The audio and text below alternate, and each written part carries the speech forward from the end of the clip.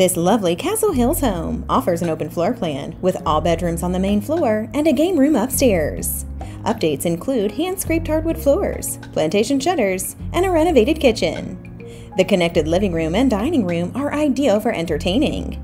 In the backyard, you'll enjoy an extended patio. Check out this must see home by scheduling a tour with Melissa McHugh.